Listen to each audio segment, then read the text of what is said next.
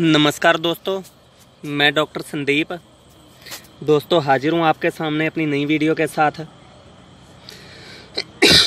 तो दोस्तों, आज का जो ये हमारा नुस्खा है, ये धात के लिए बहुत ही लाजवाब नुस्खा है। धात के मरीजों पे इसका बहुत ही शानदार रिज़ल्ट है। दोस्तों, इस नुस्खे में हमारी तीन चीज़ें यूज़ होंगी।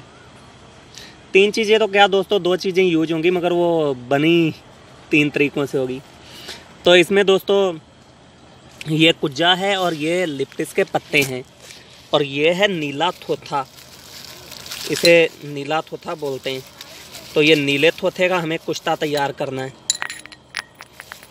और दूसरी चीज़ इसमें डलेगी बंग भस्म भाँग के पाउडर से जो तैयार होगी। भाँग के पाउडर की चुटकियाँ दे दे के जो बंग भस्म तैयार होगी, वो बंग भस्म इस नुस्खे में डलेगी। और तीसरी चीज़ भी दोस्तों, बंग भस्म ही है, मगर वो बंग भस्म लाजवंती के लुगदे में, लाजवंती जो होती है, उसके लुगदे में तैयार की हुई बंग भस्म पाँच ग्राम और पाँच ग्राम भाँग में तैयार की हुई बंग भस्म और पाँच ग्राम ये नीला थोथा। तो अब नीला थोथा का ये कुश्ता मैं बना रहा हूँ अपने एक भाई के लिए। मेरे बिहार वाले भाई हैं। तो काफ़ी परेशान है वो धात से और उनके लिए स्पेशल मैं आज ये कुश्ता बना रहा हूँ। अब मेरे पास ज़्यादा टाइम भी नहीं है। अब कल तक मुझे इसकी खरल भी करनी है और भसम भी आज मुझे तैयार करनी है। अब इस कुज्जे को मैं गिलिक मत नहीं करूँगा, इसे ऊपर से तार से बांधूँगा और साइडों में इसके आटा लगाऊँगा। इसके ऊपर मिट्टी की गिल हिकमत नहीं करनी। तो दोस्तों, ये ठोक ठोक के जितने भी पत्ते भरे जाएँ, कुज्जे में भर देने हैं।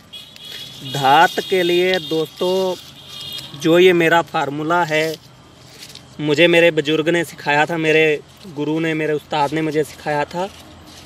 तो ये बहुत ही नंबर वन का फार्मूला है। काफ़ी मरीजों को मैंने खिलाया। अब मेरे पास ये नुस्खा नहीं था, ख़त्म हो रखा था काफ़ी टाइम से और मैंने काफ़ी सारे नुस्खे, नए नुस्खे जो चलाए थे अपने मरीजों के लिए तो उनका भी बहुत अच्छा रिज़ल्ट मिला। अब ये स्पेशल मैं अपना पुराना नुस्खा तैयार कर रहा हूँ, जो मुझे सुपर रिज़ल्ट देगा। सुपर रिज़ल्ट वाला ये फार्मूला। तो अब दोस्तों इस पर मैंने ये ढक्कन लगा दिया है।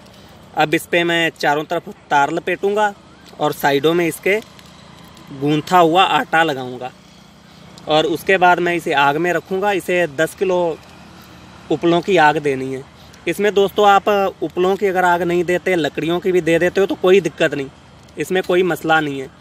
और या अगर आप इसे डायरेक्ट कोयले जो होते हैं, कोयले, उन कोयलों को आग लगा के उनके बीच में ये कुज्जे में डाले बिना ही लिप्टिस के पत्तों में ऊपर पन्नी लपेट दें या सूती कपड़ा लपेट दें तो उस तरीके से भी आप ये तैयार कर सकते हैं।